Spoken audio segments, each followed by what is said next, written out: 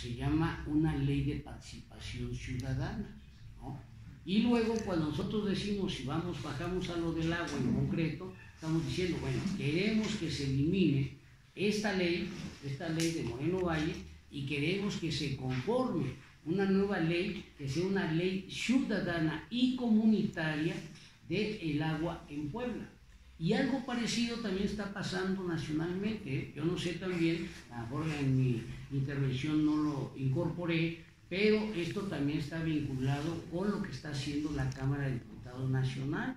El día 20, no sé si algunos de ustedes fueron ese día, el día 20 de septiembre se realizó un foro, que son parte de las actividades que anda haciendo eh, la Cámara de Diputados, las comisiones correspondientes, de que están viendo a, a consultar impulsando foros con respecto porque se va a conformar también a nivel nacional una nueva ley de aguas nacionales.